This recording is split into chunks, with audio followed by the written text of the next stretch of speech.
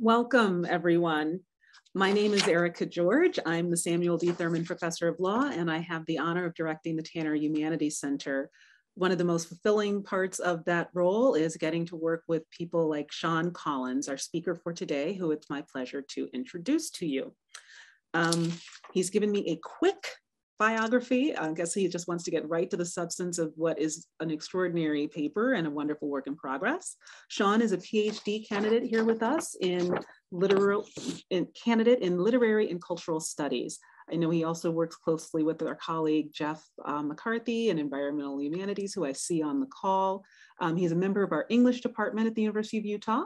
Sean's research interests include modernist studies, eco-criticism, new materialism, and post-colonial theory. His work has already appeared in the Nautilus, a maritime journal of literature, history, and culture, and in the Journal of Comparative Literature and Aesthetics. I enjoyed um, having the opportunity to read Sean's work last week. It introduced me to new texts and writers writing in fields I wasn't aware that they touched, that I was familiar with in other contexts. So it was quite illuminating um, and very interesting. And please join me in welcoming Sean to deliver his paper, which I have here, Nature and the Nation, Preservation and the Politics of the Modernist Environmental Imagination. Welcome, Sean. Is there a way, do I just share my screen for my slides here? Is that oh, correct? Oh, um, yes, Katie. Oh, we've got it. Okay, thank you. And then we are inviting you to have your camera and um, sound off during the presentation. Thank you.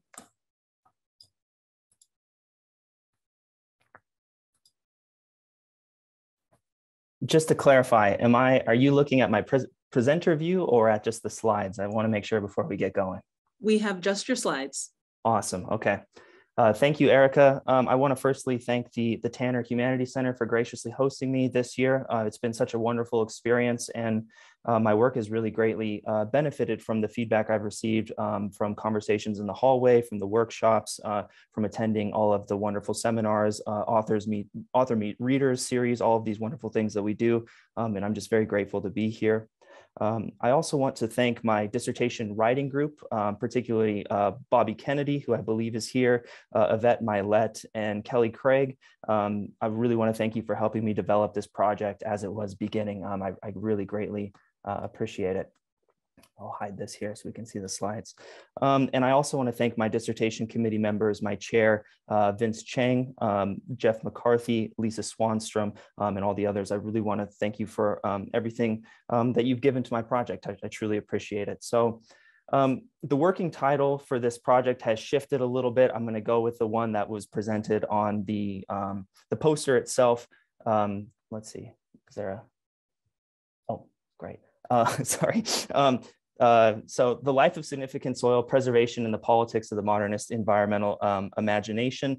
Um, and I want to preface this, this talk by saying that um, I'm really in the early drafting stages of this chapter. Um, it still feels kind of loose. And so I really um, welcome questions, comments, texts, suggestions that you might have to help improve um, this this this chapter that I'm working toward. Um, and before I hop into um, the the chapter itself, I thought it might be useful to situate my dissertation very briefly to give you a sense of the the larger scope um, of the project itself.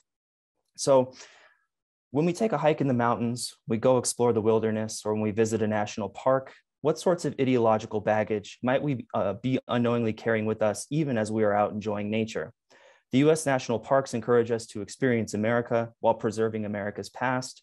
Similarly, the British National Trust strives to offer a connection with nature while protecting the, nature's, uh, the nation's heritage. If nature contains national heritage, what politics are entangled in preservation narratives? At the turn of the 20th century, environmental organizations, including the newly formed US National Park System and the British National Trust, sought to preserve nature within a rapidly modernizing world, a world that witnessed not only the development of ecological science, but also the rise of far-right nationalism. My dissertation focuses on the politically fraught archive of literary modernism in order to explore the connection between the protection of nature and the preservation of national and racial culture during the formative years of the modern environmental movement. This project is interdisciplinary, which is reflected in the way that I've um, kind of put together my archive. To carry out this project, I draw on a, a diverse collection of eco-critical theory, environmental history, modernist literature, uh, post and post-colonial studies pertaining to issues such as ecological science, uh, environmental aesthetics, nationalism, and preservation organizations. One of the central aims of this dissertation project more broadly is to not only uncover a rich and underexamined archive for environmental scholarship, um, namely literary modernism, but also to reveal the political implications of modernist ecological aesthetics and the extent of their impact for contemporary environmental discourse, particularly eco-criticism and the new materialisms. More broadly, the interdisciplinary nature of this project, I hope will contribute to a range of uh, interdisciplinary fields that organize under the banner of the environmental humanities. Um, and as I see it, and I know Jeff is doing a lot of work in this field, uh, while environmental humanities scholars have largely overlooked modernism as a viable archive for examining uh, environmental issues, um, my, my dissertation project um, demonstrates that modernists engage with preservationist discourse across multiple genres, including novels, poetry, drama, and nonfiction. Um, and I, one of the arguments that I make uh, more broadly throughout this dissertation is that the, uh, excuse me, modernist uh, formal and experiment uh, innovation was uh, also informed by newly emergent concepts uh, from environmental science, such as the idea of vitalism from the pioneering work of the ecologist Arthur Tansley um, in, in 1913. Okay, so that is kind of a, an, an overview of, of where the, the project is kind of headed. And I'd like to also just situate you very briefly in the work that I've done thus far. And I'm happy to take some questions about the dissertation more broadly if there are things um, that come to mind. Um, so that the chapter that I'm presenting today, I'm tentatively calling Enchanted, Enchained, National Parks, Environmental Regeneration, and Literary Modernism. Uh, this is the third chapter that I've drafted of the dissertation thus far. Uh, my first chapter is focused on Marianne Moore's An Octopus. Um, if you haven't read it, I would encourage you to do so. It's a really wonderful modernist long poem that is uh, also uses collage um, and it's centered on Mount Rainier National Park. Um, it draws on um, language um, from the National Park Service. It incorporates ideas from uh, John Muir and John Ruskin, and to my mind is kind of an underexamined environmental poem that, that is worthy of consideration. My second chapter focuses on the English writer um, Mary Butts, particularly her Taverner novels and also her preservationist pamphlet, um, A Warning to Hikers. Um, while Butts isn't generally uh, read in the modernist canon or, has been somewhat neglected, I'd encourage you to check out a really wonderful New Yorker article called um, Modernism's Forgotten Mystic, um, all about Butts. Um, and in this, in this chapter in particular, I situate her work alongside um, the, the work done by the Council for the Preservation of Rural England and also the National Trust. Um, and the, the fourth chapter that I'm outlining but haven't really made a lot of headway on is uh, um, centered on E.M. Forster, in particular his uh, pageantry plays, which might seem like a strange place to go to investigate some of these issues. Um, but I look at Abinger Harvest and also uh, England's Green and Pleasant Land. Um, both of these plays were actually produced for preservationist societies um, and, and I think are also worth investigating. So um, a kind of overview of how this, this chapter kind of situates into the dissertation as I've conceived of it uh, thus far. Okay, so let's get into it. In 1917, uh, one year after the United States government passed the Organic Act of 1916, which formalized the creation of the National Park Service, Harriet Monroe, the editor of Poetry, a magazine of verse, an all around modernist tastemaker and power broker, argued that Americans should throw on civilization the blame for ugliness and go to the wilds to satisfy their unconquerable need of beauty. And out of this refreshment, this recreation in nature, I sometimes think that, that the race will be saved. Monroe articulates a form of national regeneration that occurs when Americans go to the wilds and turn away from civilization. Like important American environmentalists Fred, Frederick Law Olmsted and John Muir, Monroe places the reinvigoration and recreation of American national vitality within the wilds of the American landscape, specifically the wild nature that was becoming protected, developed, and managed by the National Park Service. In this chapter, I examine the modernist pastoral argument that defines nature as a retreat that will return and restore American national vitality in the era of modernity. This chapter firstly turns to a series of preservationist writings, specifically John Muir, Frederick Law Olmsted, and Teddy Roosevelt, that provide historical context for the idea of environmental rege regeneration and the correlated aesthetic appreciation that these uh, preservationists argued uh, was needed to access the vitality of nature. This chapter then turns to Harriet Monroe's editorials and poems from Poetry, a magazine of verse, in order to analyze how the discourse of regeneration informs modernist literary production and the political ideologies latent therein. The third, the last third of this chapter turns to W.E.B. Du Bois' collection Darkwater, Voices from Within the Veil, in order to deconstruct Monroe's environmental attitudes and to demonstrate their implications for modernism more broadly. In this chapter, I focus on Monroe and Du Bois' writing about the Grand Canyon National Park during the early 20th century. Where Monroe sees an open and vital frontier in the American desert, Du Bois personifies the Grand Canyon as a deep wound in the American national body politic, a wound that aesthetically vacillates between beauty and horror. At stake in both modernist examinations of the Grand Canyon, I argue, is the relationship uh, within environmental discourse between reactionary political projects and progressive aesthetic frameworks that sought to articulate newly emerging relationships between art and the environment in the era of modernity, precisely in response to the preservation of nature as the locus of national vitality and identity. Created in 1916, the National Park Service was a major step toward the preservation of nature in America. When the National Park Service defined its early preservation goals, a common idea was that parks should be national playgrounds. Frederick Law Olmsted, an important American landscape architect and preservationist advocate, defined parks as, quote, agencies for promoting public recreation and public health through the use and enjoyment of the parks and of the national, uh, natural scenery and objects of interest therein, end quote. National parks are thus conceived by Olmsted as, la as landscapes of retreat from modern cities and a return to the authentic frontier American experience. The construction of nature as a site of rest and renewal mobilizes a particular form of pastoral discourse rooted in the dialectic of retreat and return, wherein one goes into nature as, as uh, Terry Gifford has shown, in order to return to the city with insights and renewed mental, physical, and spiritual capacities.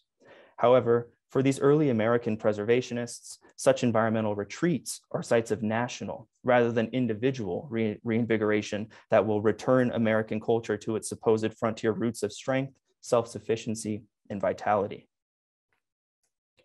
Reinvigoration was not merely a metaphor at the beginning of the 20th century.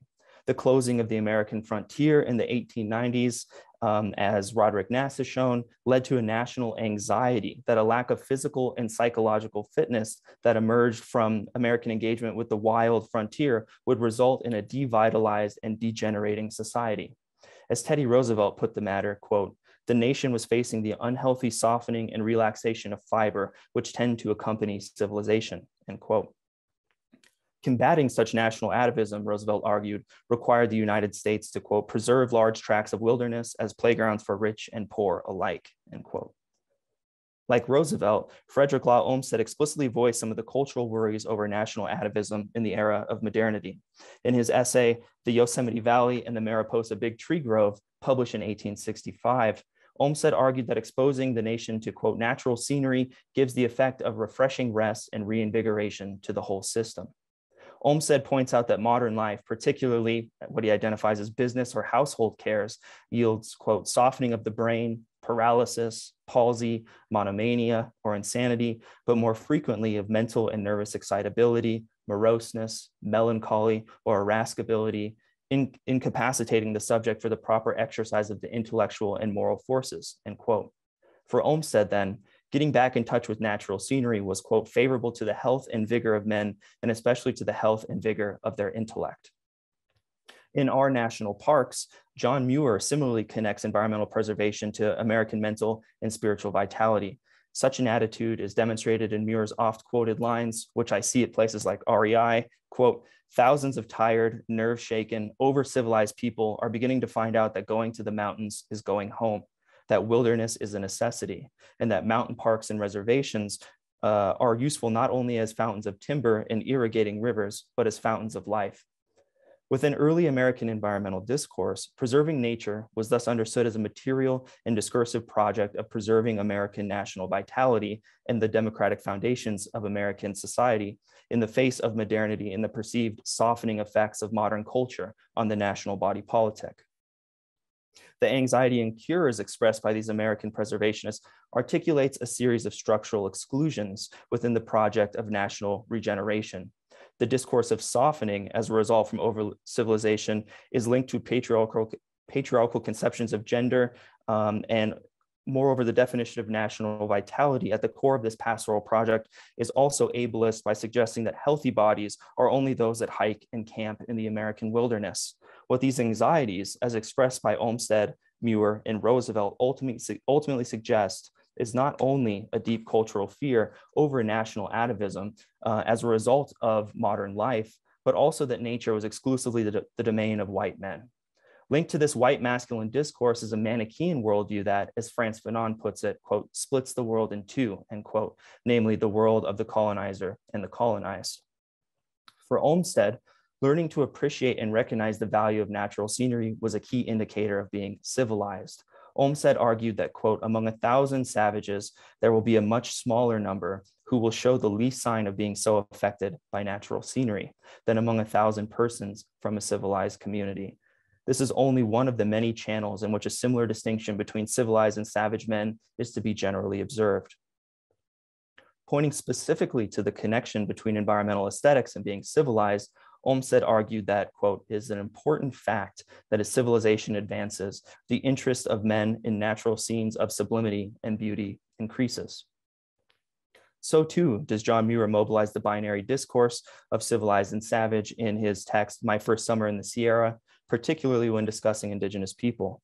Reporting on a tribe in Glacier Meadow within Yosemite National Park, Muir observes that, quote, a strangely dirty and irregular life these dark eyed, dark haired, half happy savages lead in this clean wilderness, end quote.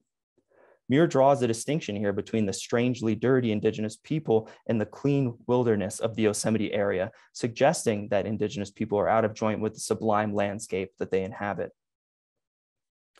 Olmsted and Muir thus conceived of environmental regeneration as intimately connected to the preservation not only of national vitality, but also of a colonially, informed conception of civilization.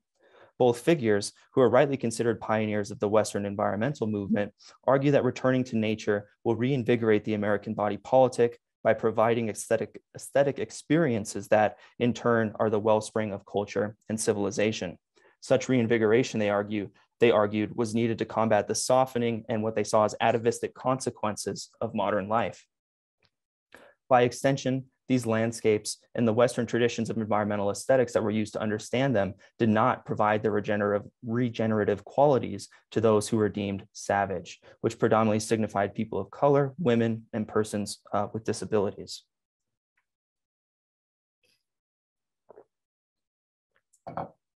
It is Harriet Monroe, the editor of Poetry, a magazine of verse, and tastemaker of American modernist aesthetics, who brought the arguments of environmental regeneration into the context of literary modernism. In the 1918 editorial essay titled The Great Renewal, Monroe articulates a similar idea of environmental regeneration as proposed by Olmsted and Muir. She writes, Mother Earth is the great renewer of the race, both physically and spiritually. But it would also be well if we were to search the platitude more deeply and realize that she is also the great renewer of the arts, and that it is to her, rather than to schools and precedents of the past, that our artists, our poets, should go for their deep drafts of the nectar of the gods. Monroe also shares Olmsted and Muir's worry that the majority of Americans are over civilized. Consider this statement from the Great Renewal. Groups and uh, as she writes, groups and races of men inherit too much from the super civilized past, even more than super civilized human beings. Do they need the great renewal from Mother Earth who bore them? What is clear is that Monroe, who was an instrumental curator, publicist, and editor of modernist poetics through her role at Poetry Magazine, which published influential modernists like Wallace Stevens and Ezra Pound, placed nature as the primary source of American artistic regeneration and American national artistic identity. Monroe champions the newly created national parks as the resource of national regeneration and as the fitting subject of modern art. quite controversially. In To the Wilderness, Monroe explicitly connected regeneration to the larger project of environmental preservation, arguing that, quote, our own inheritance of vast areas of mountain and desert, forest, lake, and seacoast areas of which can never be civilized and which, in some cases, the government is preserving as national parks, may be regarded as our most precious possession, an ever flowing fountain of youth for the nation. Monroe here echoes John Muir's claim that the wild landscapes protected within national parks are fountains of vitality for Americans.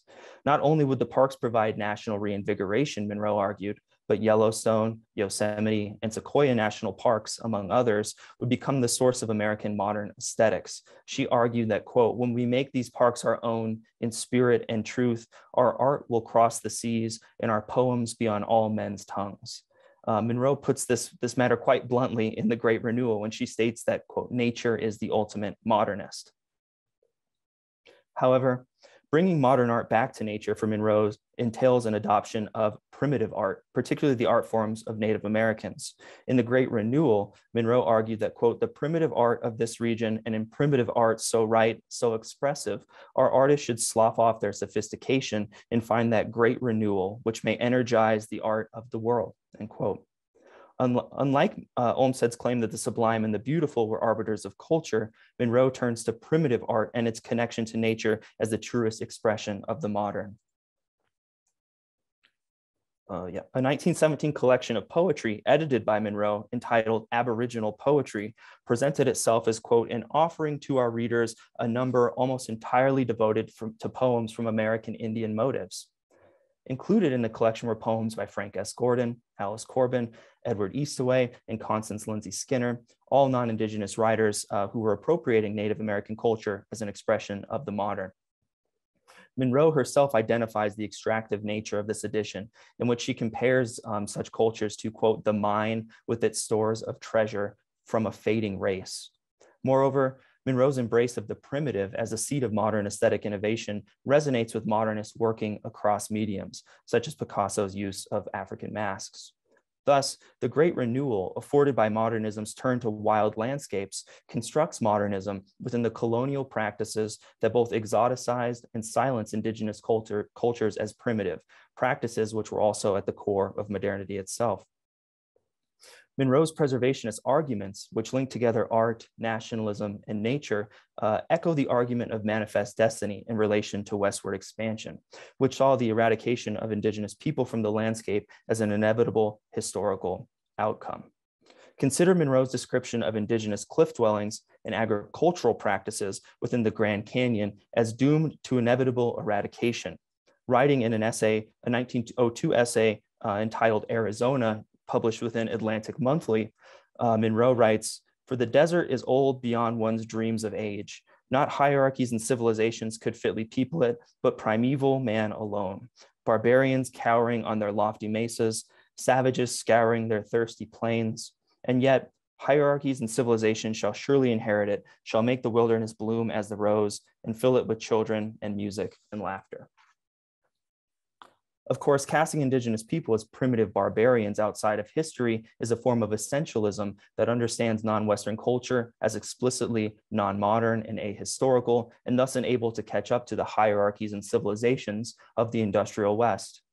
Monroe connects what she sees as the inevitable expansion and domination of the landscape to a conception of racial and cultural hierarchy, arguing that quote, the savages must cease to be savage, the, the savage must cease to be savage or he must pass away, or else he must perish from the earth and leave his kingdom to the stronger races.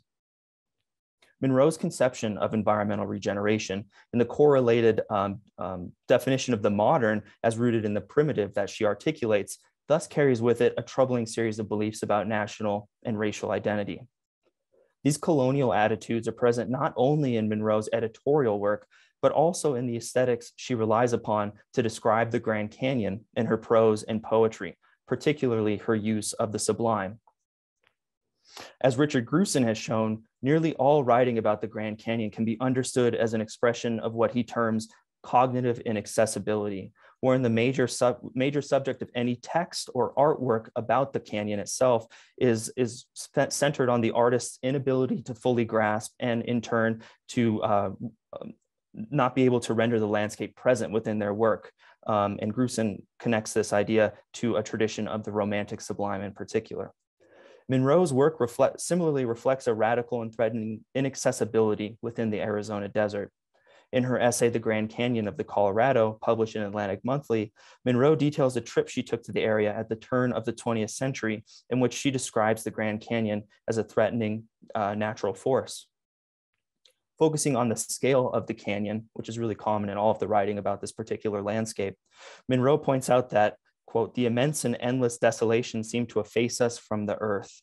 What right have we there on these lofty lands, which never since the beginning of time had offered sustenance to man? Monroe here seems to express um, a, a, form of the sublime, but does not transcend the natural power of the Grand Canyon through the intellect, as Kant's formula dictates. Instead, the canyon is a specter of death that continually threatens to efface her from the landscape. Monroe goes so far as to articulate a suicidal impulse upon encountering the power of the Grand Canyon and its scale. Quote, my narrow ledge of rock was a prison. I fought against the desperate temptation to fling myself down into that soft abyss and thus redeem the affront which the eager beating of my heart offered to its inviolable solitude. Death itself would not be too rash an apology for my invasion. The days of my wanderings along the chasm of uh, along the edge of the chasm were too few to reconcile my littleness with its immensity. To the end, it effaced me. Describing her encounter with the Grand Canyon as an invasion, Monroe repeats the idea that the landscape has effaced her, suggesting a, a sublime experience without any kind of transcendence. Monroe again contends with the power of the Grand Canyon in the poem At O'Neill's Point, which was published in a 1922 editor, excuse me, edition of poetry. However, rather than an emphasis on death and erasure, Monroe focuses her attention on the first European explorers to explore the Grand Canyon, Garcia Lopez de Cardenas in 1540. Monroe describes this expedition in the poem as such. Cardenas, I salute you, you marauding, buccaneering Spaniard, you ragged and sworded lordling, slashing through to the seven cities of Cibola, you athirst in the desert, seeking to drink from the great river, the mother of western seas, the Colorado River, dear to your Hopi guides, you, Cardenas the Spaniard, three centuries before the next first white man, you, with your handful of starvelings, stood on this rim of the grand of stood on this rim of the canyon. The tone of Monroe's poem is seemingly reverential. Cardenas, continually evoked through direct address, is celebrated as a picaresque adventurer who, through his marauding and buccaneering, eschews the law and social convention in the name of exploration and discovery.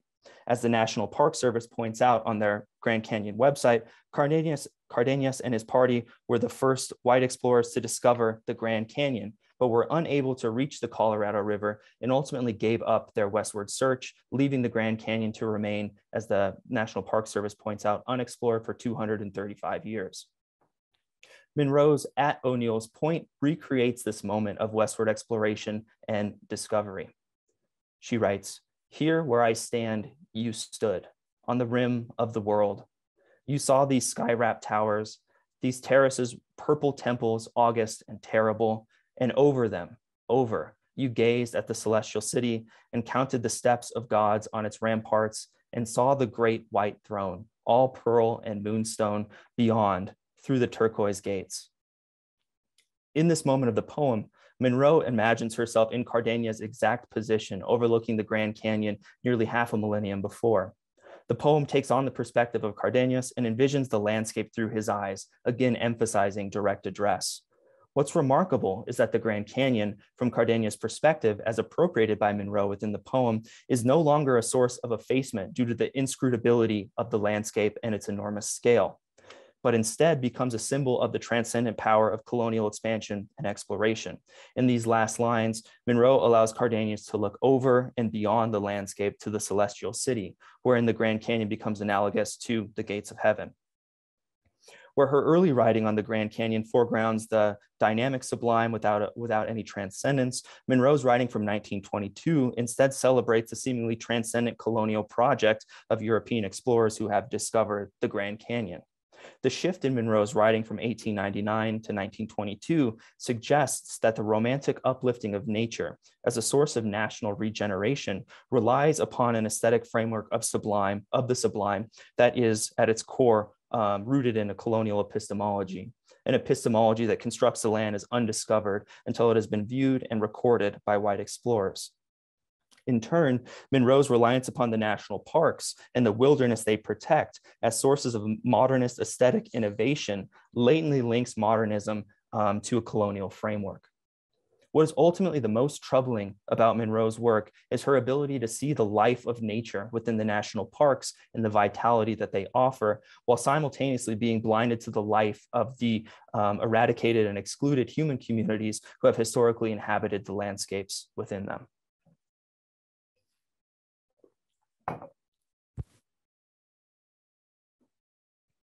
Shifting gears a little bit. During the 1922 National Parks Conference that took place in Yosemite National Park, debates were taking place over park accessibility and development. A slogan proposed by the superintendent of Rocky Mountain National Park, Roger W. Toll, was for, quote, adequate development, but against overdevelopment, end quote. Among the issues examined during this conference were the role of roads and the proper balance to strike so that the, that the park should be, quote, popular, but never commonplace. While the new leaders of the National Park Service debated the best policies regarding the balance between preservation and development, a striking comment was made regarding Black visitors to the parks. Quote, one of the objections to colored people is that if they come in large groups, they will be conspicuous and will not only be objected to by other visitors, but will cause trouble among the hotel and camp help, and it will be impossible to serve them. Individual cases can be handled, although even this is awkward, but organized parties could not be taken care of. While we cannot openly discriminate against them, they should be told that parks have no facilities for taking care of them. Within the context of the pastoral justification of parks as sources of environmental regeneration, these comments from the 1922 National Parks Conference, um, the same year that Monroe published At O'Neill's Point, suggests that the renewal offered within these landscapes is a predominantly white resource. As William O'Brien has shown in Landscapes of Exclusion, the, land, the, uh, the landscapes protected by the National Park Service were often understood as white space. Similarly, Carolyn Merchant has argued that, quote, sublime nature was white and benign, available to white tourists. The spectacular national parks of the West, such as Yosemite, Yellowstone, and Glacier, were increasingly viewed as an escape for those white Americans who could afford the trip, end quote. Carolyn Finney, in her Black Faces, White Spaces, um, further puts this issue in, in stark terms. Quote, national parks and forests as spaces and places that reflect national identity, environmental values, and American history are not immune to processes of representation and racialization. In particular, national parks and forests can unintentionally become sites where African Americans experience insecurity, exclusion, and fear born out of historical precedent, collective memory, and contemporary concerns what O'Brien, Merchant, and Finney demonstrate is not only a troubling environmental history of race-based exclusions from the landscapes that made America, quote, nature's nation, but also that the discourse of environmental regeneration reflects a politics of whiteness that mobilizes nature as a resource of exclusive racial vitality. W.E.B. Du Bois' Darkwater, Voices from Within the Veil, published in 1920, explicitly examines the pastoral justification of national parks, um, central to Monroe's work in particular, and also within American culture more broadly. Darkwater is an experimental collection of essays, poems, hymns, speculative fiction, and sociological analysis. And if you haven't read it, I'd encourage you to do so. It's wonderful. Um, written during the period of transatlantic high modernism, Darkwater displays many stylistic characteristics of modernist art. Given the modernist context of Du Bois' work, uh, Darkwater is a rich text to examine the limitations of environmental regeneration within the context of literary modernism. Darkwater explicitly takes up the issues of the pastoral, the sublime, and American nature in national parks through modernist stylistic techniques that, I argue, defamiliarize Monroe's modernist pastoral. Such defamiliarization emerges through what Du Bois develops as a, a doubling of environmental representation that represents wild nature as a source of transcendence, i.e., the sublime, and also as the locus of racial inequality and historical violence. While Darkwater contains many important texts from Du Bois' corpus, including The Souls of White Folk and Of Work and Wealth, a less examined essay entitled Of Beauty and Death contains extended passages on several prominent environmental themes. Du Bois begins his analysis of the national parks in Of Beauty and Death through an appeal to the treat with, retreat within parks, excuse me, as a form of environmental regeneration, uh, asking, quote, why do not those who are scarred in the world's battle and hurt by its hardness travel to these places of beauty and drown themselves in the utter joy of life, end quote. Du Bois here articulates a series of discursive components of pastoral discourse and environmental regeneration that we've already seen in the work of Muir, Olmsted, and Monroe. Namely, nature is a space for revitalization from the modern world that can be accessed through exposure to and appreciation of natural beauty. However, Du Bois defamiliarizes the pastoral discourse of early environmental preservation within Darkwater and throughout dark, Darkwater by deconstructing the idea of nature in American culture. The National Park Service, for example, has often relied upon conceptions of wilderness that cast nature as empty, virgin, and pristine. As Timothy Morton has pointed out, these definitions of nature construct the environment in binary terms, wherein the real nature is always out there in parks, woods, and wilderness. Rather than identifying nature as wild land, Du Bois demonstrates that nature can also signify environmental exposure to pollution, for example. Du Bois situates this expanded identification of nature within the pastoral discourse, again, of retreat and return, particularly in regard to travel by rail. As Marguerite Shaffer has shown in her wonderful text, See America First, the railroads were instrumental to the, to the development and success of the National Park Service in the 20th century. Rails like the Great Northern made many of the parks accessible to a growing American middle class with the time and resources for recreation and leisure. However, Du Bois, using direct address, demonstrates the reprehensible inequality that Black passengers experienced when traveling to the American wilderness through his examination of the Jim Crow car. Du Bois writes that, quote, the Jim Crow car is up next the baggage car and engine. It stops out beyond the covering in the rain or sun or dust. Usually, there is no step to help you climb on, and often the car is a smoker cut in two, and you must pass through the white smokers, or else they pass through your part with swagger and noise and stares.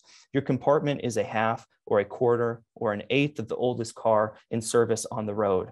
Unless it happens to be a thorough express, the plush is caked with dirt, the floor is grimy, and the windows dirty. It is difficult to get lunch or clean water rather than experience nature within the parks, those who are aboard the Jim Crow car exp are exposed to environmental conditions like rain or sun or dust. Um, they're also exposed to these conditions within the car itself, such as dirt and grime, and as Du Bois points out, are unable to acquire clean water and clean air. Du Bois thus defamiliarizes environmental discourse that foregrounds the pastoral as a site of regeneration through an exposure to and travel to wild nature within the parks by expanding the awareness of nature as environmental exposure when one is retreating to wild nature. The pastoral discourse in A Beauty and Death thus doubles environmental perception that presents nature as both a site of liberation and an expression of inequality. In A Beauty and Death, uh, du Bois also defamiliarizes the sublimity of Grand Canyon and Acadia national parks through literary techniques of doubling that again articulate the way that nature is both a, a space of sublime transcendence and also a locus of imminent historical violence. Like Monroe's writing about the Grand Canyon, Du Bois grapples with the linguistic and cognitive failure to reckon with the scale and novelty of the landscape, drawing on recognizably touchstone features of the sublime. Consider Du Bois' struggle with adequate and appropriate language to evoke and represent the canyon. Quote, is yonder wall a hedge of black or is it the rampart between heaven and hell? I see greens. Is it moss or giant pines? I see specks that might be boulders. So too does Du Bois seem to evoke the struggle for recognition and representation of the canyon when he writes, quote, it is a grim thing, unholy, terrible. It is not red and blue and green, but ah, the shadows and shades of all the world glad colorings touched with a spiritual, hesitant spiritual delicacy. What does it mean? What does it mean? Consider also the description of the Grand Canyon that Du Bois presents as a symbolic representation of violence. Uh, here's his, his writing on, on the landscape. Quote, it is a sudden void in the bosom of the earth down to its entrails, a wound where the dull titanic knife has turned and twisted in the hole, leaving its edges livid, scarred, jagged, and pulsing over the white and red and purple of its mighty flesh, while down below, down, down below, in black and severed vein, excuse me, boils the dull and sullen flood of the Colorado. Du Bois again echoes many common tropes of the sublime through his attention to scale and power of the land, pointing out that the canyon is a sudden void that defies comprehension. And yet, the primary symbol that Du Bois offers is that of nature as a wound that has exposed the severed vein of the Colorado River. If we follow the preservationist logic as articulated by Monroe and others, that the national parks are emblematic of America itself, then Du Bois constructs a wounded nation through the symbolic evocation of the Grand Canyon. As Rob Nixon has shown in Slow Violence, pastoral discourses long cast nature as an ahistorical and timeless wild landscape that exudes sublime aesthetic qualities outside the context of human culture. Against this form of perception, Nixon advocates for what he calls environmental double consciousness that tracks nature as both sublime and violent in order to, as he says, quote, reinsert the violence into view, end quote. In striking terms, Nixon outlines the duality of perception at the core of environmental double consciousness. He writes that environmental double consciousness is a tranquility simultaneously expressed and exploded through an ongoing history of the present that is violently, inextricably societal and natural. To feel the convergent impulses behind post colonial pastoral's historical double take and an African American pastoral that uh, prompts us to see beyond some immediate, immediately bucolic calm the domestic terrorism long in view. Long in view. Du Bois further articulates environmental double consciousness within Of Beauty and Death, specifically while concluding the section on the sublimity of Acadia National Park. While viewing the sunset upon Mount Desert and the coastline, Du Bois reports that, quote, above the calm and gold green moon, beneath the wind wet earth, and here alone, my soul enchained, enchanted. These observations again reflect touchstone features of the sublime, particularly the attention to transcendence, the solitude of the speaker, and the enchanting quality of the landscape. However, the sublime, the sublime scene, excuse me, is also enchaining for the speaker. As Du Bois points out, quote, both things are true and both belong to this our world, and neither can be denied, end quote. And yet the environmental double consciousness developed by Du Bois in Darkwater not only critiques American preservationist discourse centered upon an ahistorical and apolitical construction of wilderness that, as we saw earlier, is intimately linked to racial and colonial politics. Du Bois also defamiliarizes preservationist discourse centered on wild nature by identifying what we might call urban ecologies as an authentic locus of nature and also as a powerful source of national vitality. In describing New York City from the vantage of the Brooklyn Bridge, Du Bois reports that, quote, New York and night from the Brooklyn Bridge, the bees and fireflies flit and twinkle in their vast hives, curves, uh, curved clouds like the breath of gods hover between the towers and the moon, one hears the hiss of lightnings, the deep thunder of human things, and a fevered breathing as of some attendant and invisible pow- invincible powers. The glow of burning millions melts outward into a dim and fairy outline until afar the liquid music born of rushing crowds drips like a benediction on the sea. End quote. Du Bois' description of New York City does not, draw, does not draw attention to modern technologies like cars, airplanes, and skyscrapers. Instead, the people of the city are, le- are likened to bees and fireflies. Moreover, the elemental forces of nature, such as lightning, clouds, the sea, rather than cultural products of modernity, are central to Du Bois' writing about New York City. Even though Du Bois stands upon the Brooklyn Bridge, a supposed symbol of modernity's power over nature, the bridge is instead harmonized with the landscape of the city. In this description, Du Bois demonstrates that culture is naturalized as a site of nature. And in this way, Du Bois anticipates the now famous critiques of wilderness as articulated by the environmental historian William Cronon in his wonderful essay, The Trouble with Wilderness. In conclusion, um, Monroe and Du Bois turn back to the earth as a source of national aesthetic regeneration might best be thought of as a battleground for modernism itself. T.E. Hulme's Romanticism and Classicism, an important text for the theorization of modernist aesthetics, uh, rejected any turn back to nature as a form of romantic anti-modern nostalgia. Ezra Pound, of course, shared Hulme's view of nature um, in regard to modernism. In the Little Review, uh, Pound argued that, quote, I cannot believe that the mere height of the Rocky Mountains will produce lofty poetry. I cannot believe that the mere geographical expanse of America will produce of itself excellent writing, excuse me. What's unique in reading Monroe alongside Du Bois is the radically different political projects that nature is yielded towards within the context of literary modernism. Monroe yokes, and as we've seen, excuse me, Monroe yokes environmental regeneration to a colonial epistemology and thereby brings something akin to scientific racism to bear on issues of nature in the context of modernism. Du Bois, by contrast, demonstrates the way in which the environment has been historically used as a tool of marginalization. And yet, both figures present these environmental attitudes through a distinctly modernist set of artistic strategies, concerns, and contexts. Perhaps rather than resolve these tensions, we might instead recognize that such contradictory impulses reflect the dialectic between modernism and modernity itself. More broadly, in 1983, Wallace Stegner provided the National Park Service with a motto that has stuck to this day the parks are America's best idea. However, the entirety of Stegner's quote is less often uh, cited, which goes as follows National parks are the best idea we ever had, absolutely American, absolutely democratic. They reflect us at our best rather than our worst situating these writers within the explicit and latent uh, racisms and colonial epistemologies that took root during the rise of environmental preservation requires, I think, a deconstruction of how we understand public land in America and in American culture. Um, I think these authors ask us to, to question who is the public that is interpolated into America's best idea? Um, and as I've tried to show, Monroe and Du, Bois' work suggests that the nature within public lands is the domain of a predominantly white, masculine, able-bodied public. Examining literary modernism within this context thus um, provides envi contemporary environmental discourse, not only with new modes of environmental representation that help to attend to the literary and entangling enchaining entanglements of nature and culture, but also serves as a warning against reifying the exclusionary practices and ideologies that have been foundational to preservationist thinking since its inception at the turn of the 20th century. Thank you. Here's my works cited. Thank you. Thank you very much, Sean. Um, thank you. I'm going to change back to our gallery view so we can all see you. Um, thank you very much for that. So I will be facilitating um, questions and answers and keeping a queue of comments and questions for Sean.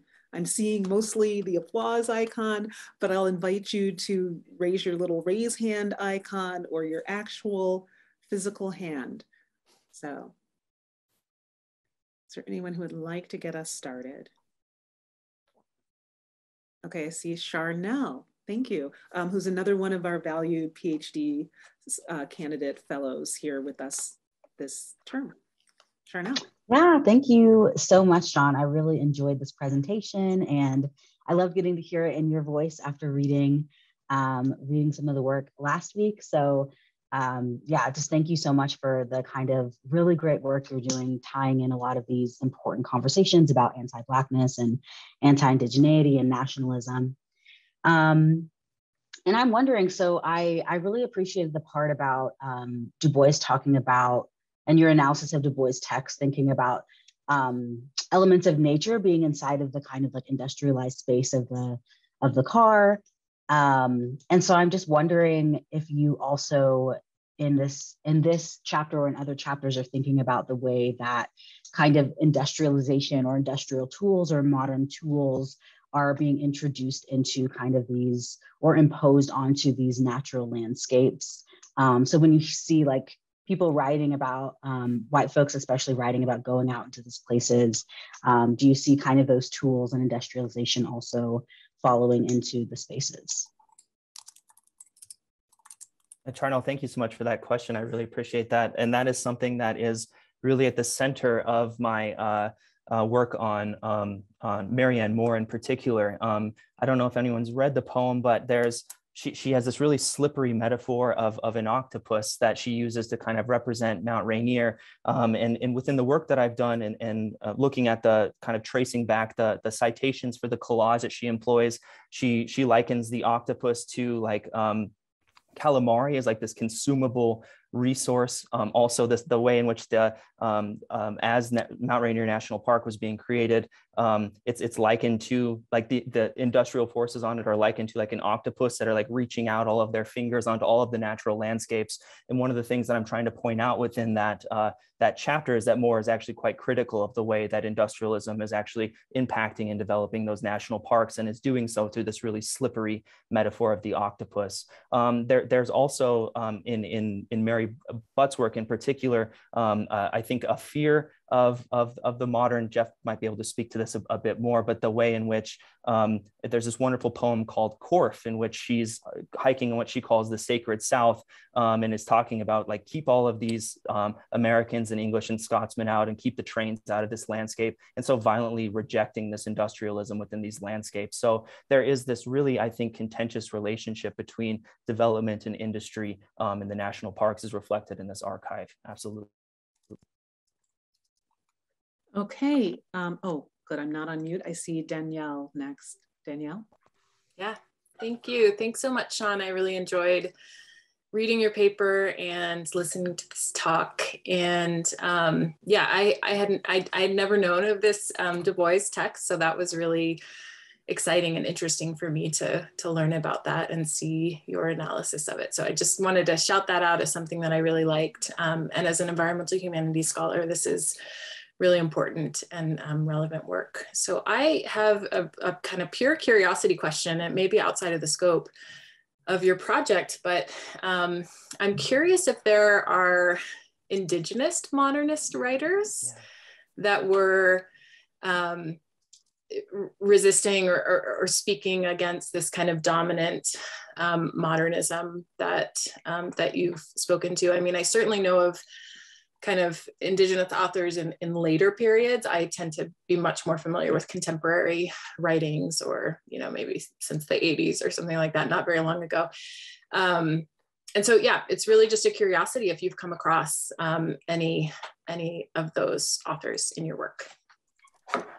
Thank you for that question, Danielle. I, I sadly have not, and it's not from a lack of, of searching. It's not something that I've, I've come across, um, but it is something that I think um, absolutely would be really beneficial for this project as I'm kind of one of the larger things that I'm trying to do is, is uh, in contribution to the new modernist studies is to try to kind of destabilize how we think about um, modernist kind of archives, who's counted as a modernist and why they're counted as modernists and, and the, the value of their work in that, in that regard. Um, but I have not come across any of these texts. Um, I would love to, um, to, to find some though, and that's something I'm, I'm very interested in. Okay, and next we have Katharina, who is a member of our fellowship community as well. Thank you. Um, thank you, Sean. This was great. What I, the many things I love actually is that we have sort of our conversation first with the fellows, and then we get to hear the talk again, sort of second time around. It typically you get even more out of it. I think you did a wonderful job presenting it here. So really appreciated that. I think we already talked about this a little bit, but I just want to hear uh, more. What about the issue of gender? Because I mean, women clearly were um, part of the modernist movement. We're thinking Virginia Woolf, who of course also had her issues with the room of her own, which she did or did not have and wanted access to certainly. How do you account for that? Because I mean, what you're describing here with the national parks is a white project, but it's also ultimately seems to me a pretty male project. On the other hand, of course, you have women writers here. I mean, you, your examples were today limited to the sort of American side of things, uh, women writers who participate in this. So I would just like to hear a little bit more how you think through this, how you theorize um, this, and also the, the intersectionality, I guess, between race and gender. Are there any Black women um, who participate in this discourse at all. So I just sort of like to hear a little bit more because I assume it's going to be a pretty important aspect of your project. And again, thank you. It was a great presentation. Uh, thank you so much for that question. And before I talk more specifically about the relationship between gender and nature, I want to say that um, Woolf also has a really contentious relationship, I think, to, to gender, right? She just she really leans on the figure of, of androgyny in particular, seems to um, not be wholeheartedly embracing this this this this uh, identity category. But I think you're absolutely right that gender is, is a very large part of this of this this issue. And to be honest, it wasn't something that was it should have been, but it wasn't on the fore, forefront of my mind until the workshop, and it was pointed out to me just how important these issues are. Um, and and I think in particular, it's kind of uh, just within the context of this chapter, I haven't fully theorized it, um, but thinking about the way that Monroe, as this modernist tastemaker, is, is echoing these white masculine discourses and situating those as her definition of, of, of kind of modernism and, and of modernist aesthetics more broadly. I think that's that's a, a, quite a unique perspective that I haven't fully kind of unpacked at this at this current moment. Um, but you're absolutely right that, um, and as, as Leslie had pointed out in our in our conversation, um, last week that this is something that needs to be um, theorized and thought through more. Um, and so at this moment, I, I don't have um, a solid response to it, just to say that I recognize the importance of it. And I think it's really going to complicate some of these discourses. And I think really situating Monroe um, a, as a woman within these, these um, white masculine discourses, I think might be a really fruitful place to kind of maybe nuance some of the reading that I've done of Monroe's work. But thank you for bringing that again to my attention. Wonderful. Before our next um, hand raise, I just wanted to point to um, a contribution in the chat from another member of our community, uh, fellowship community, Leslie, um, resonating with the previous question. Yes, really resonating with that question and the intertwined historical construction of whiteness, masculinity, and hyperavailable bodiedness. And as you um, shared, this conversation has expanded um, your thinking on how to think about this set of materials you've collected. Um, she continues, I wonder too, oh, there she is. She can just, do you want to? Oh, oh. I don't yeah. have much to say beyond that. Like, um, I think like rather than lifting up Du Bois too as like the solution to that problem, um, that there's a possibility of like doing some really interesting queer reading of that work that like both reproduces that sort of uh, masculine relationship to nature, but also has the possibility of disrupting it through too through the um, complex an- analysis of race, but also of the body. Like just yeah, thinking through. This is a very unthought out idea because I have actually haven't read that Du Bois piece, but I want to now to be like, where does it reproduce the issues you're talking about in the earlier pieces, and where does it maybe like create some relief and, and just one more on this collection of materials, um, Susan, who's a valued member of our team at Tanner, makes the observation that Sean, such an interesting collection of primary source material gathered and interpreted in new ways. And I, I hope that from our engagements, there are newer ways and additional ways one might interpret the work. So Leslie's suggestion that maybe we problematize Du Bois, and you have inspired me to read that I hadn't been familiar with that work previously. Um, we are joined by um, my co-conspirator. I see Jeff McCarthy with the hand. He is the Director of Environmental Humanities, and I understand a member of your dissertation committee. Jeff, welcome. Hey everybody, can you hear me okay? Yeah, great. Um, thanks, thanks. Yeah, great to um, great to see everyone. Um, and I've emailed Sean some um, some comments on uh, on these ideas and, and, emailed him a bunch of praise uh, also. I, I think um, I'll comment briefly on this question of indigenous uh, modernists. Um, basically, modernists, European and American, were busy poaching uh, from indigenous uh, art, right? So if we think about um, Picasso's uh, Les Demoiselles d'Avignon, or we think about D.H. Lawrence's so-called primitivism uh, and his time in Taos. Um, a lot of uh, a lot of this modernism is um, instead of including uh, um, uh, indigenous voices, is um, you know borrowing would be a generous word uh, for for that um, for that work. Um, it's not until I think you get into the uh, a, little later that you see more indigenous artists um, uh, showing up in that modernist um, so-called experimental uh, realm. And, and I think it's not that people weren't there. I think they're more just like excluded from, um, from view by things like um, the, the stuff we saw in Poetry Magazine. I really love the work you're doing with um, uh, texts like um, Poetry Magazine and, and mixing these artifacts with um, uh, direct texts from things like the National Park Service. I, I, I think that um, uh, ho holding those two things up um, together uh, offers some pretty powerful uh, cultural readings. So um, I, would encourage you to, to keep doing that and and being um, overt about that, like like making it clear that that's that that's an intention that you have have set and are realizing. Um, similarly, I, think it's important to emphasize that the American and European modernist traditions are quite different, and I know you and I have talked about that. But as you move towards trying to publish this work, um, I, I, I, would ask you to, uh, to foreground some of those differences, particularly in relation to um, attitudes towards nature. And, and you gestured towards this a little bit with Hulme, um, but um, you, you, know, the, the kinds of nature as regeneration, nature as seat of, uh, of insight and health, that we see in National Park Service work um, uh, and some of Monroe's stuff in the early 20th century is quite the opposite of what gets presented by, um, for instance, the Italian futurists. Um, and uh, one of their collections uh, in like 1910 called Let's Murder the Moonshine, um, which is an absolute re refutation of um, romantic uh, ideas. Um, at the same time, you have the British Vorticists uh, celebrating um, uh machinery um, and speed uh, in, instead of um, uh, sort of the natural world. They're just sick of, I mean, they're making it new by saying, like, all this Wordsworth stuff is passe. We've got to do aesthetic.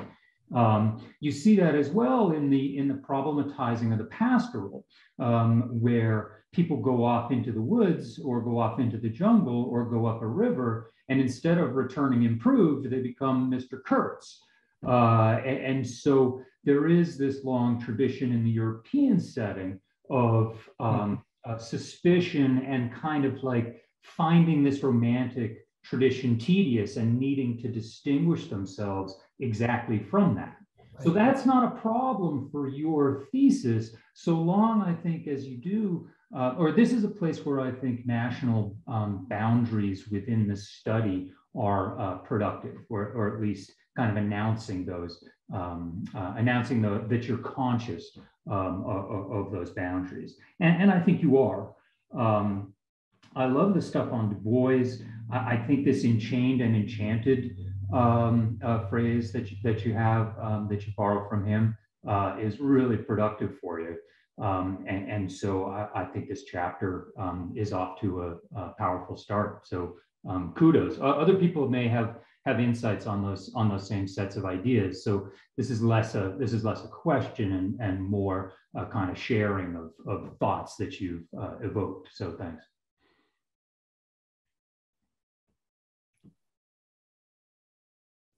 Okay. Um, I don't see any more. I think Jeremy. Oh, Jeremy? Okay, Jeremy. Hi, Sean. Thanks for this. Um, I really think it was a terrific presentation. I, I want to just compliment you. Um, I think you and, and a number of our other fellows, Charnel, and you know, have really impressed me with uh, just the presentation aspects of your work on Zoom. I think it's not easy to give a talk uh, in this medium, and and your presentation was was really lucid, and and the visuals were great. And um, I, you know, I also want to reiterate my compliment from last week, which is really that I think you're you're offering such a rich and new archive to us, and I want to, you know, I, I, still want like a little more storytelling about the the poetry magazine uh, context of uh, where these essays um, appear, because I think you really are kind of presenting something that you know we didn't know was in that those famous numbers of poetry. Um, um, I, I wanted to kind of ask you to elaborate on um, how you think your work does kind of make us rethink what we would think of as kind of canonical accounts of modernism, because it is a surprising archive and it's a surprising um, set of discourses in a number of ways. And, and, I'm thinking of like at least two angles. I mean, first of all, I think we often think of modernism as really wedded in its high forms to urban environments, the Waste Land, Mrs. Dalloway, Ulysses. Um, and secondly, those urban environments are kind of indicative of kind of um, an overwhelming amount of sensory information, which poses a serious epistemological problem. Yeah. How do we know and make coherent the world? Um, how can we achieve a stable meaning? Um, and you know, it seems to me that the canonical account in my reading is that modernist uh, aesthetic devices are efforts to kind of make legible that problematic. We have limits of perspectives or multiple perspectives. We have fragmentation, and that those those aesthetic forms are ways of rendering a universe that doesn't resolve into some sort of coherent meaning. But what you're pointing to are sort of, you know, they seem almost kind of retrograde efforts to kind of make the world legible or or um, coherent. They kind of offer kind of uh, you, you use the word transcendental um, kind of grounding. If we just go to nature, you know, Pounds is maybe a little more skeptical of this, but if we go out to nature, um, we will be regenerated. There will be some kind of purity. And so I wonder if you want to kind of speak to that and, and if that's something that you know you hope to do in the dissertation is kind of um, position these sort of answers that nature is a kind of refuge or retreat or some kind of regenerating force does that emerge as a kind of answer to the certain kinds of problems that modernist writers are wrestling with in the first place Jeremy, you, you've asked so many good and rich and, and important questions. And as you were talking about this, this kind of like barrage of sensory experience, I'm thinking of reading Ulysses, which is like all about those paratactic sentences. We have so many different narratives, styles. We have so many different speakers. That book is so confusing that it requires often multiple guidebooks to make it through in the Joyce seminars that I've taken, right, with the illusions and, and with what's happening. So I think you're absolutely right that modernist style in particular is responding to this kind of barrage of the modern. Um, I, I, think that's that's very true. Um, but I also, the, the first point that, that you make uh, about um, the, the ways that we view modernism generally is connected to things like urbanism, celebration of technology, celebration of machinery. Um, I think all of these things are certainly um, true. And, and I think following um, uh, work by Jeff, by Elizabeth Black, by Kelly Sultzbach, one of the things I'm trying to point out um, within this archive that I'm reading is that nature is actually one of the central grounds in which modernists are trying to kind of understand and think through uh, what it means to be modern, what modernist aesthetics are all about, and that actually this kind of marginalization of nature within kind of modernist studies criticism is actually um, kind of overlooking a really rich archive, whether it be Lawrence's work um, in like Pan in America, whether it be these archives that we're looking at here today, um, um, Marianne Moore's work on Mount Rainier National Park. I do think that these modernists, while they're um, like often not considered environmental writers at all actually have a lot to contribute. And so i do think that that is one of the contributions um, that i'm trying to make. Um, and the last point that you you brought up is this idea of kind of searching for totality um, maybe by turning in into nature. And, and one of the things that my advisor vince has, has always pointed me towards is the way that that modernists um, uh, generate these grand mythologies that often lead to really slippery political projects like fascism um, and some other things that are really um, these, grand narratives that that become really really troubling. Um, and I'm not so sure that that that necessarily nature is is is the resolving force, but rather, as I was trying to point out in this chapter, as we read Monroe alongside Du Bois, and and I, I take the points about maybe problematizing my reading of Du Bois, um, that they they they offer contentious, um, radically different kind of ways of looking at nature and, and, the modern. So they're not really resolving into this into this totality that you're describing. In fact, it's kind of um, turtles all the way down, so to speak. And so I think this this tension, as something you and Jim brought up also in the workshop, is something that I'm working um, to try to more clearly articulate the way that it almost becomes a dialectical relationship between between modernism and, and modernity more broadly. Um, but I, I really like the points that that you've brought up, and those are things that I think I still need to really tackle and think more more about as I move forward not only with the introduction, but with the final chapters. Okay. Um, I want to draw attention to an extended comment in the chat from Julie. Um, this was following up on Jeff's comment, and we did have an exchange about different types of nature, different landscapes. I'd asked you about well, Australia, other colonial. So, um, Julie, I don't know if you want to intervene on that point. Yeah, I can. I mean, I'm much more articulate in uh, when I write it down than when I ask a question in person. Uh, but yeah, just sort of, um, I know Katerina brought this up last week too, um, pushing you a little bit more, and then Jeff just mentioned on the the comparative aspects between Britain uh, or the English case and the American case um, you know, what's distinctive between them, what perhaps overlaps, but then also thinking beyond the American or the US Anglo context, what sort of similarities might you see in modernism and approaches to nature? And I just wanted to highlight, for example, uh, the work of Aldo Leopold, right, who is a German American who spends a significant amount of time in Germany, including during the 30s, hint, hint, hint. Mm. Um, and so that there really is a larger transnational context here, transatlantic at least, um, to a lot of this rhetoric. Um, and so when you're sort of making the case for significance um, in the dissertation or thinking about publishing, that might be irrelevant um, for you to, to draw in.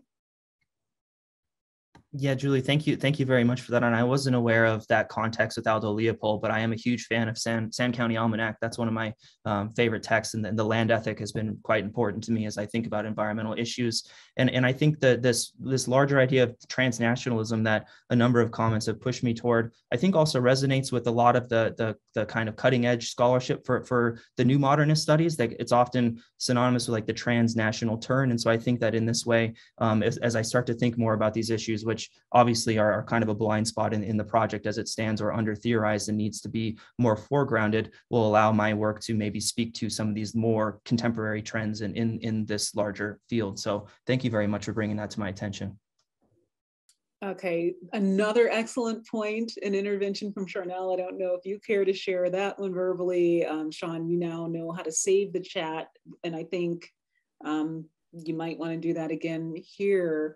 Um, but but she is raising um, again complimenting what this is doing. But Jeff's comment or intervention was pretty generative because here's another one following up um, made me think of this discourse not only as a nationalist project but also as a specifically Western one, which you mentioned. And I'm, I'm now kind of thinking about African literature that I've read, and I, I haven't really thought about the lens of, anyway, but other bodies of literature, maybe. Um, honing in on the regional aspects might also help you think about the relationship between anti-Blackness and anti-indigeneity in the environmental landscape, i.e. indigenous, indigenous folks were stripped of land and removed, know, there was a project, um, to the West, and Black people were excluded from movements to the West and contained in the South um, because of racial terror and inhibited mobility. And um, lawyer here, realms of segregation in space legally mandated was quite clear. Um, and the West still remains very much a white place, just like the national parks. Yeah. So, um, uh, and then Jeff saw that. So, uh, yeah, I think these are pushing in a direction to maybe expand um, your analysis of some of these texts, problematize them. I think you're Charnel. I think you're absolutely right. I mean, even when I think about like D.H. Lawrence writing like in the American Southwest, and I'm thinking about these writers who are also writing about like a very Western landscape, the Grand Canyon. I think you're absolutely right that this isn't only a nationalist project, but is very much or a nationalist discourse, but is also very much rooted in like the American West, not only as a region, but as like an ideological and discursive construction. I think there's really something to be said for that. These are all great questions and comments, Sean. Um, uh, I'm also just thinking that you know um, Jeff and Charnel's and and um, and Julie's efforts to make you think a little more like transnationally, or, or the extent to which um, these kind of discourses and ideologies sort of differ across national boundaries. Also, just makes me wonder if there's a kind of historical narrative here as well, because you know, as I was sort of saying, I think you know, a lot of the modernist sort of disillusion with finding meaning really came out of the First World War, right? Um, civilization suddenly looks like a, a, calamity and not like any form of progress. And the question is, well, what the heck do we do now?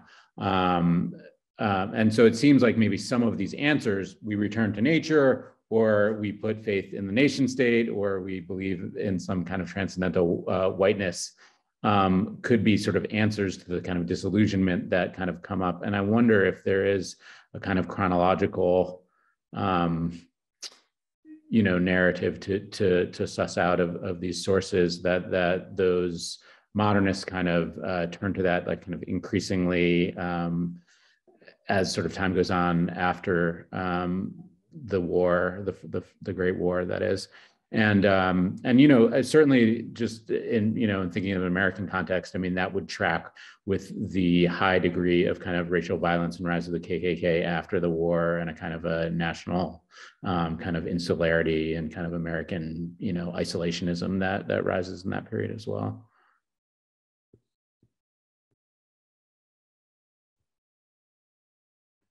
Jeremy, I'm so sorry. My my AirPods just picked up. It cut you off like halfway into your comment. And I'm so sorry. I was scrambling to turn off my Bluetooth. It's been doing that on and off. I don't know what's going on. I, I truly apologize. No problem. I can, uh, we, we can talk offline if, if, and I can repeat it. I'm so sorry about that. No problem. Okay. Well, um, any other takers? If not, Sean, I'll, I'll leave you with concluding comments and remarks. Uh, thank you all so much for this wonderful feedback. Um, I, I, really think this project has grown a lot in the workshop setting and now here as well. And I'm very grateful to your attentive reading and listening and help me think about um, how to develop this project. Um, so just thank you so much for your time and um, for, for everything. I really appreciate it. Thank you. Thank you so much. Um, thank you to the Tanner team, OC Tanner Foundation, and the College of Humanities as well. Thank you. Thanks, everyone.